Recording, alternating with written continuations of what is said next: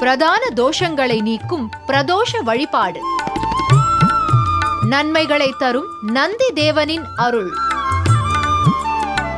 திருவள்ளூர் சிவன்வாயில் கிராமம் அருள்மிகு திரிபுர சுந்தரி அம்பாள் உடனுரை ஸ்ரீ சிவனாண்டீஸ்வரர் திருக்கோவில் தரிசனம்.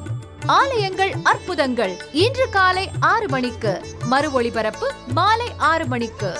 நமது புதியுகத்தில்.